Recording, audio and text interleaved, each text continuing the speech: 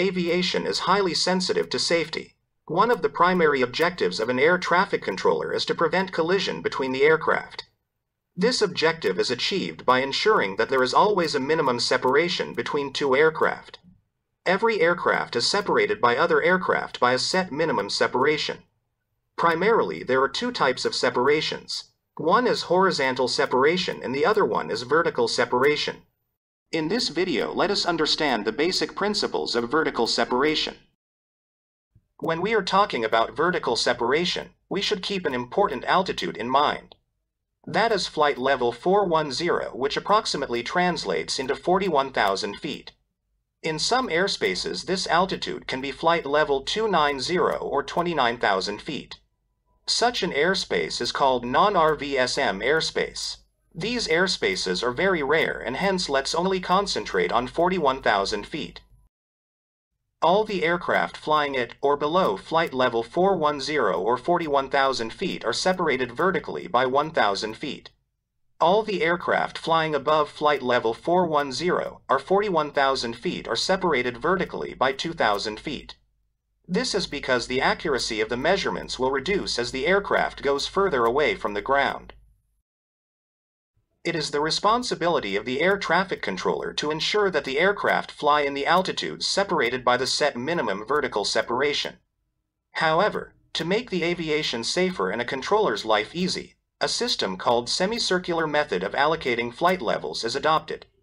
This system ensures that there is an inbuilt separation between the aircraft flying in opposite directions.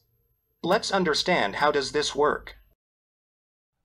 Irrespective where the aircraft is flying, if the heading of the aircraft is easterly, meaning, if the head of the aircraft is in a direction from 0 degrees to 179 degrees, then the aircraft is allowed to file and fly only the odd levels. Odd levels are 1,000 feet, 3,000 feet, 5,000 feet, 7,000 feet, etc. till 41,000 feet. If the heading of the aircraft is westerly, meaning, if the head of the aircraft is in a direction from 180 degrees to 359 degrees, then the aircraft is allowed to file and fly only the even levels. Even levels are 2,000 feet, 4,000 feet, 6,000 feet, 8,000 feet, etc. till 40,000 feet. Keep in mind that this rule is applicable only for the aircraft flying at or below 41,000 feet. Let us try to understand this with an example. Consider two aircraft flying in easterly heading, say 090 degrees. So, they can fly only at odd levels. For example, 29,000 feet and 31,000 feet. Now consider two aircraft flying in westerly heading, say 270 degrees. So, they can fly only at even levels. For example, 30,000 feet and 32,000 feet. As you can see, this system automatically ensures a minimum of 1,000 feet separation between the aircraft flying in the opposite directions. If you make further observation, you can see that if two aircraft are flying in the same direction, then they are automatically separated by a minimum of 2,000 feet.